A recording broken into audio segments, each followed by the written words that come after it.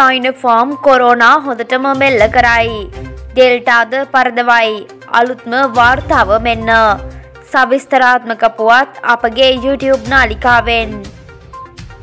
Corona වෛරසය පාලනය සඳහා චීනය විසින් නිෂ්පාදනය කරන ලද සයිනෆාම් එන්නත් මාත්‍රා දෙකම ලබාගත් පුද්ගලයන්ගේ සීයට අනුපාක ප්‍රතිදේහ ගොඩනැගෙන බව හෙළි වී තිබෙනවා. ශ්‍රී ජයවර්ධනපුර විශ්වවිද්‍යාලය ආසාත්මිකතා හා ප්‍රතිශක්ති විද්‍යා සහ සෛල විද්‍යායතනය සිදු කළ පරීක්ෂණයකින් මේ බව හෙළි වී තිබෙනවා. මේ වන විට වේගයෙන් පැතිරයන ඩෙල්ටා ප්‍රබේදයට එරෙහිවද ඉතා හොඳ රැකවරණයක් සයින්ෆාම් එන්නත මගින් ලැබෙන බව තහවුරු වී ඇතැයි. එහි මහාචාර්ය නීලිකා මලවගේ මහත්මිය හා ආචාර්ය චන්දිම ජීවන්දර මහතා කියා සිටියා.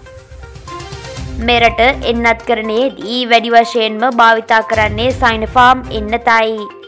මෙවැනි ඉනිසුම් පුවත් ලද සැනින් දැන ගැනීමට අපගේ YouTube නාලිකාව සබස්ක්‍රයිබ් කර සීනුව බොත්තම ක්‍රියාත්මක කරන්න.